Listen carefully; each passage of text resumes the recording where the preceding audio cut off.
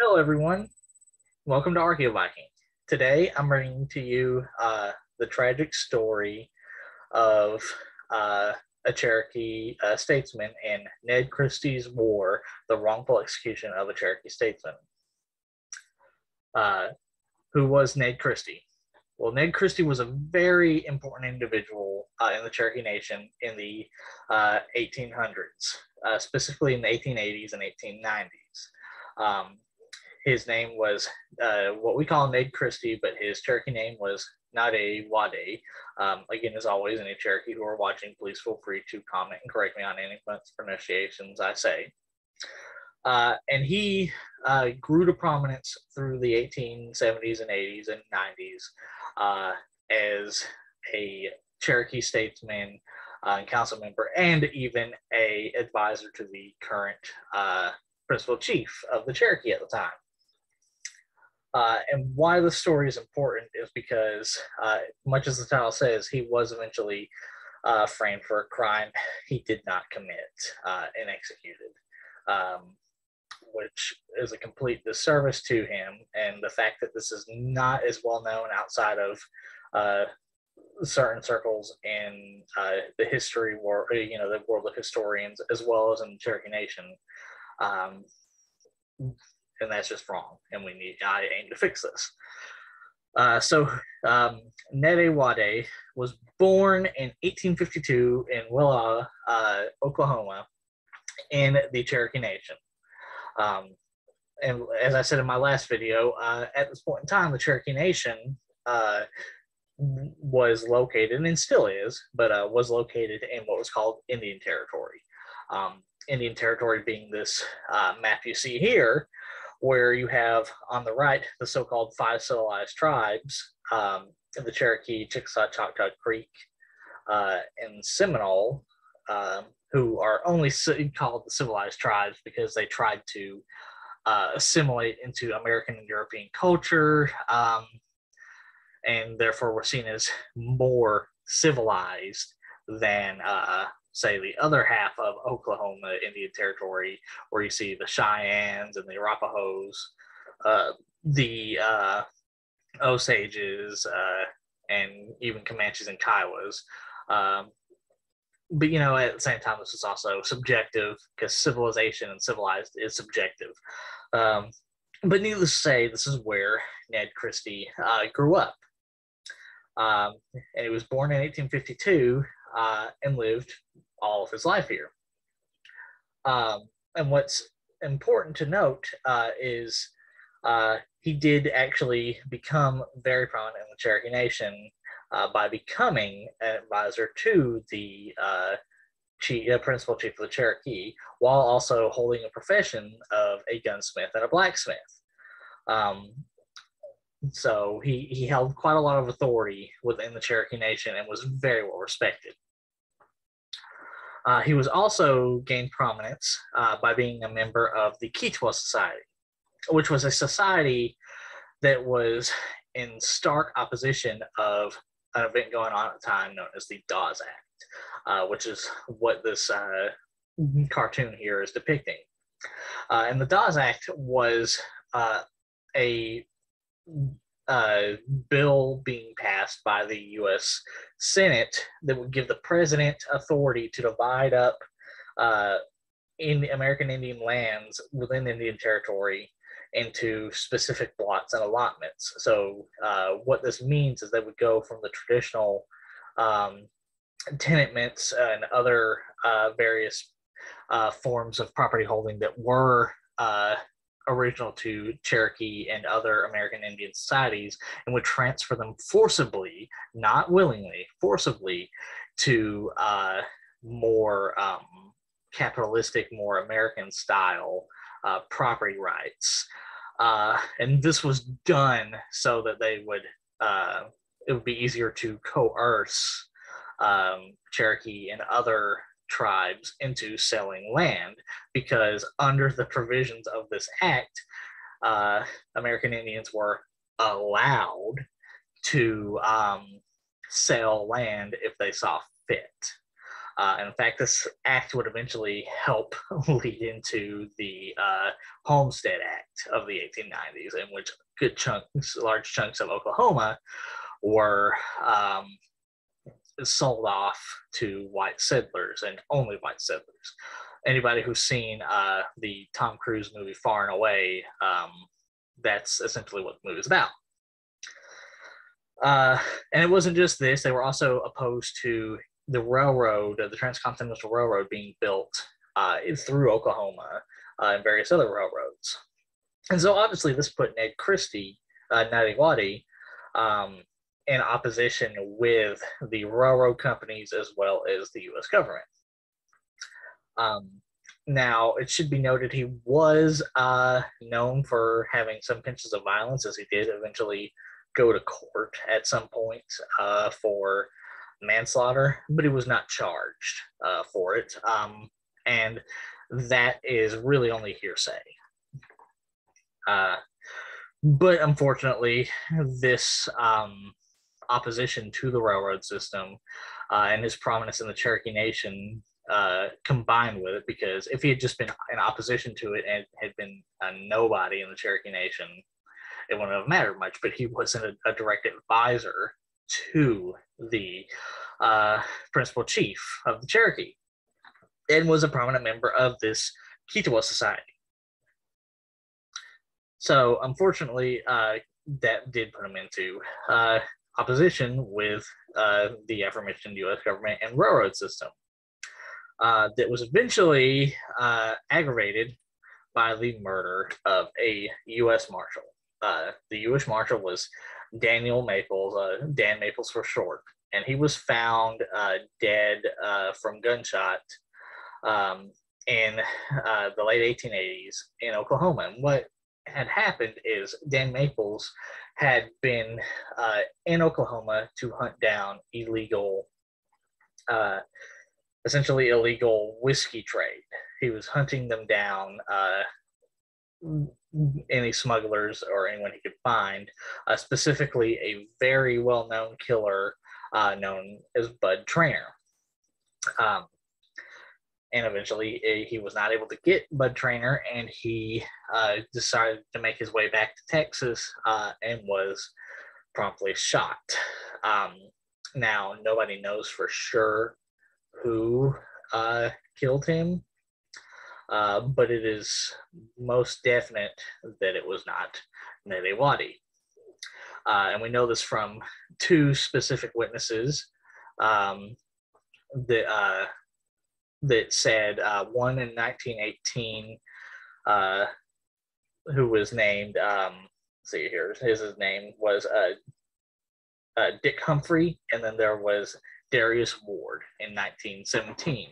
Um, and they, and granted, this was many years after the murder of uh, Daniel Maples, uh, but they both confirmed uh, that Nede Wadi had not killed Dan Maples. Uh, in fact, Darius Ward uh, mentioned he had been the second person to find uh, Maples' body, and that he knew for a fact, having come from the town, that Ned Christie was asleep uh, at the time of the murder of Daniel Maples. Uh, not to mention other witnesses, including uh, Ned Christie's uncle and various other people whom he was with and drinking at the time. So, a lot of witnesses uh, were uh, brought forward and did say that it was not uh, not a. Uh, however, um, this did not fly with the U.S. Marshals, uh, specifically because at first they were even believed that it was actually Bud Trainor who murdered Dan Maples.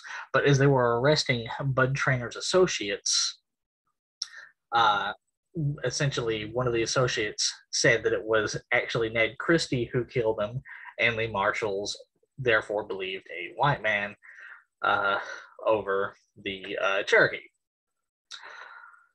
And this brings us into Judge Isaac Parker because the case was brought to Judge Isaac Parker, who was a well known hanging judge. He was known for uh, his so called hanging judge because he was uh, the kind of judge who would basically uh, hang people more than he uh, he did not. Essentially, he was an execution judge. Now, it should also be noted that that's not all he did. He was for prison reform, and he was even, uh, to a certain degree, pro-American Indian, as he was for reform and of the justice system in Indian Territory to be more favorable. Um, and he did try to reform criminals as well. Uh, but that does not take away that he was very prone to ordering executions. Um, and he took the case uh, and ordered Ned Christie Nadiwadi to come uh, to his uh, court uh, and basically make his case. Uh, however, uh, he did not allow Nadiwadi to get his own evidence to he not allow Nadiwadi to defend himself really. So he's basically just come here without any evidence, without any alibis, without any proof or anything, uh, and be at the be at my mercy.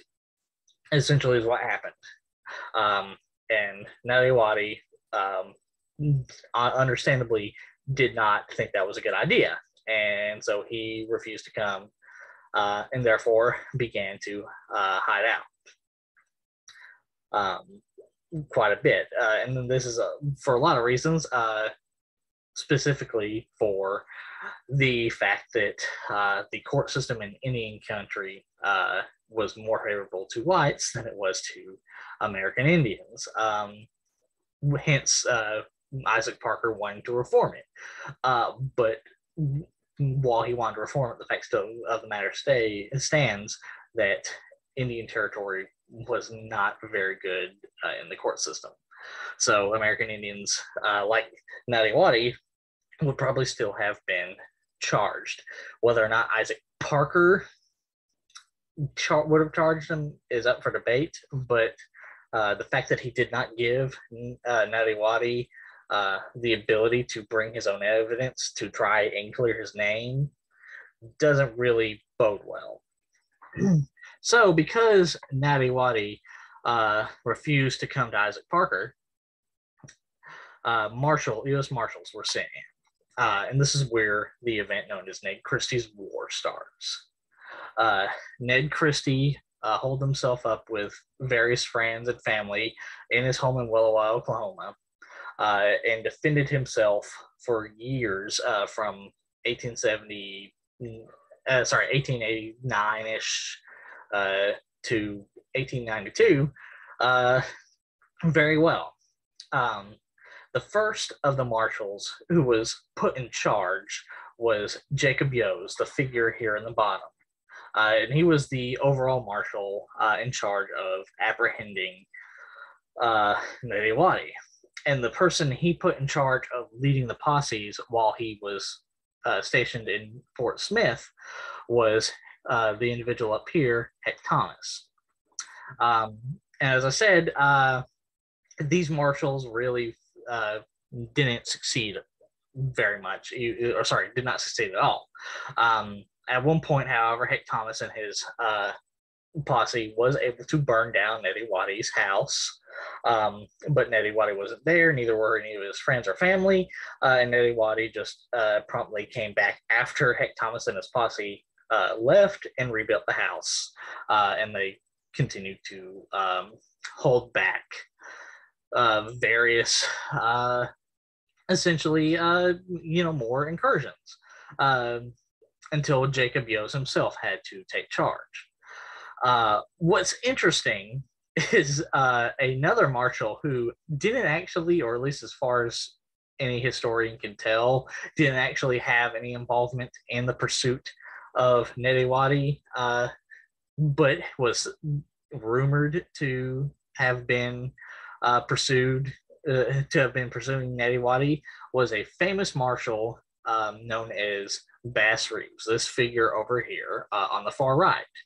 Uh, Bass Reeves is the inspiration for the Lone Ranger. Uh, he was also black. Uh, and the reasons for this are too long for this video, as Bass Reeves deserves his own video.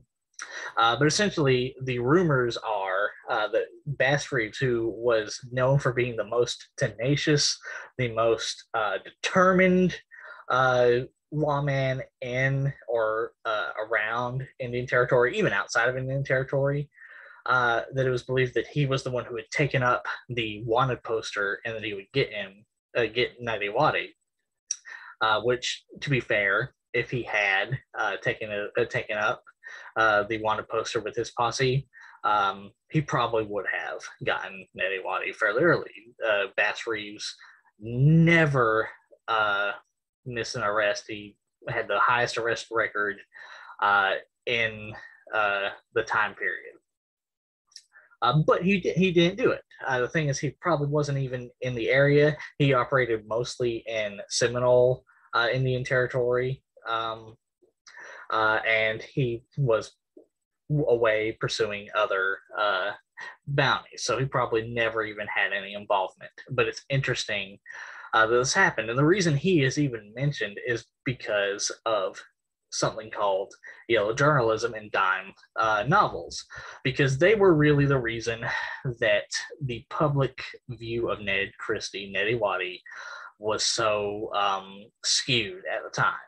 Uh, yellow journalism uh, essentially is you make up a sensational story to get views, to get um, people to buy more newspapers, which is sort of like what the news is now, only uh, there were a lot less reputable newspapers at the time. I mean, there were reputable newspapers, but uh, generally the reputable ones were not the ones who were covering stories like this. It was only the dime novels and yellow journalism, uh, which is in stark contrast to now, where it's the opposite, where we do have in our modern time uh, a bunch of not reputable uh, journals and, uh, and, newspapers, but we have actually more reputable than we have not reputable. Um, but uh, I digress. That is the reason uh, these marshals were uh, going after Nettie Wadi a lot of times because a lot of time they were getting their own information from these yellow uh, journalism newspapers. Um, and a lot of them hadn't even met Nettie Wadi or anything like that, whether it being gunfight or otherwise. Uh, and then it's also why sensational stories like Bass Reeves uh, chasing him existed.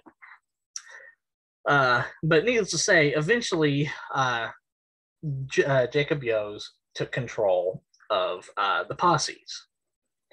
And he uh, led the uh, final few sieges on uh, Nedi Wadi's uh, house. Um, and these pictures right here are uh, the area in which Nedi Wadi's house existed. There's the stream on the left that's only 100 yards from Nedi Wadi's uh, house. Uh, and the picture on the right is a picture of where his house originally stood, um, it's being shown to people by a descendant of uh, Wadi. Uh, and so these multiple sieges by Jacob Yoes um, had mixed results a lot of time, much like Heck Thomas's. Um, but eventually, Jacob Yoes and his uh, uh, posse were able to uh, lay siege to uh, Nedi Wadi's uh, house uh, and push a wagon full of dynamite up to uh, the house and blow up his house uh, and force Nedi Wadi out uh, and shoot him dead. and then at that time, uh, with the death of uh, Nedi Ned Christie's war had ended and they promptly took Nedi Wadi's body uh, and took it uh, to, I believe, uh, Tulsa, Oklahoma. I could be wrong on that, but uh, he t- they took uh, Nedi Wadi back to Fort Smith. That's right. They took him back to Fort Smith, Oklahoma, and then posed themselves around his body and took pictures of their victory for killing uh, Nedi Wadi. Uh, in this picture, uh, Nedi Wadi is the figure with the number five under him. He's the figure right here in the middle, uh, which was um, I would I would not even be afraid to say that this is barbaric and should not have been done. Uh, but it was common for the time where after you kill an outlaw, um, or in Ned, Ned Christie's, Ned Wadi's case, uh, somebody who was not an outlaw and who was killed for something he didn't commit, uh, you would often pose yourself like this uh, with the body. Uh, and in many cases, like uh, for example, the death of Jesse James, uh, your body, their bodies would be put up for display so people could come and get pictures with dead famous outlaws. so uh, now uh, Ned Christie Neddy Waddy permanently resides in the Watt Christie Cemetery um, to this day. But you know, with with his death, uh, one must ask, what what is his legacy? What did he leave behind? Was he ever cleared of his crimes? Was he, is he still thought of uh, by many people as guilty? What what happened? Well, uh, for one thing, he's not thought of as guilty anymore. Uh, the picture on the right uh, is a picture of a plaque actually in Fort Smith uh, to this day um, that uh, states that it clearly was that Neddy Waddy was assassinated, not that he committed the crime, that he was killed for a crime he didn't commit. It is a clear statement of assassination, um, something that should not have happened. Uh, and this is also alongside a plaque uh, in the court outside the courthouse of uh, Tahlequah, Oklahoma. So, uh, and a lot of this came many years later. Unfortunately, he was not clear of his crimes, uh, as I said earlier, until 1917 and uh, 1918 with Darius E. Ward's and Douglas Humphrey's uh, accounts. And one might ask, why did it take so long for them to come forward? Why did they wait until 1918, uh, 1917? when Ned A. Was charged with crimes in 1888, 1889, and was killed in 1892. Well, you have to remember, these were the times of Jim Crow, uh, especially in the 1890s during the high rise of the uh, Ku Klux Klan uh, in those areas. Um, and various other reasons. So they were understandably terrified to come forward, but they did eventually come forward. Uh, and then in the image to the left is uh, the uh, gravestone of Nate Christie in uh, the uh, uh, Christie Cemetery. and so to this day, he is now viewed as an example of what horrors could happen to American Indians both then and now. He was somebody who did not murder anybody. He did not murder a marshal, but because he was well known, because he was in direct opposition to the Dawes Act uh, and the Railroad Acts and was a more traditional Cherokee, and because he did have a certain degree of uh, history of violence, he was singled out. And he was singled out because lawmen were more willing to believe a white man out, you know, a white man who, for one thing, was an outlaw, but uh, a white man over uh, a Cherokee uh, and that is something that should not have ever happened. Um, and it's something that we need to learn from, and it's something that needs more coverage than it is given uh, now. Um, there are history books that I will cite in the sources, uh, recent history books that talk about this, but I mean, it's not. It's this should be taught in schools. Uh, I'll put it that way. And so uh, we have to honor this man, and we have to uh, remember him because this man uh, was wrong uh, and should never have had this happen to him. So, with that, uh, I'm going to uh, end the video and be sure to like, share, and subscribe. And I hope you all have a good day.